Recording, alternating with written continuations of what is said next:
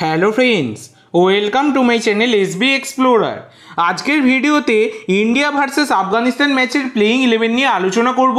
তো ভিডিওটি একটু স্কিপ না করে শেষ অবধি দেখবার অনুরোধ রইল। আর যারা প্রথমবার আমার চ্যানেলে এসেছ, তারা অবশ্যই চ্যানেলটি সাবস্ক্রাইব করে দিও। যে কোনো ধরনের স্পোর্টস রিলেটেড আপডেট সবার আগে পাওয়ার জন্য। তো ফ্রেন্ডস আগামীকাল এগারোই June India versus Afghanistan match রয়েছে এএফসি এশিয়ান কাপ কোয়ালিফায়ার্সের তো এইটা কিন্তু ইন্ডিয়ার দ্বিতীয় ম্যাচ এবং ইন্ডিয়া তাদের প্রথম ম্যাচটা কিন্তু কম্বোডিয়াকে খুব সুন্দরভাবে বলতে গেলে হারিয়েছে দুই শূন্য গোলে। কিন্তু আরও গোলের ব্যবধান বাড়তে পারতো অনেক গোল কিন্তু মিস করেছে টিম ইন্ডিয়া।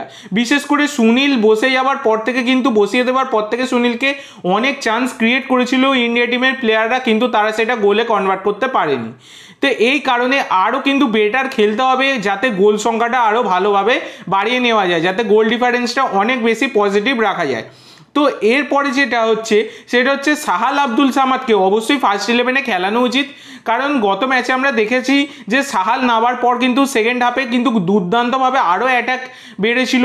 তো সেক্ষেত্রে সাহালের মতো প্লেয়ারকে অবশ্যই নামানো উচিত, বেঞ্চে না বসিয়ে রেখে। তো এবার চলো দেখে নেওয়া যাক কেমন হবে ইন্ডিয়ার প্লেইং ইলেভেন তো India four two three one ফরমেশনের দল নামাবে। গোলকিপার গুরপ্রীত সিং সান্ধু রাইট ব্যাকে খেলবেন রোশন সিং লেফট ব্যাকে আকাশ মিশ্র সেন্টার ব্যাকে খেলবেন সন্দেশ জিঙ্গান এবং আনোয়ার আলী। দুজন ডিফেন্সিভ মিডফিল্ডার অনিরুদ্ধ থাপা এবং সুরেশ সিং।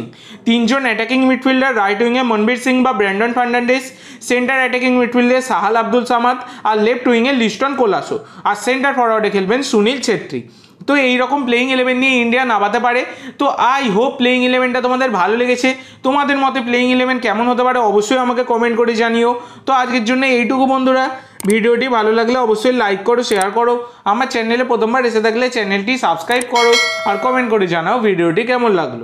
ধন্যবাদ।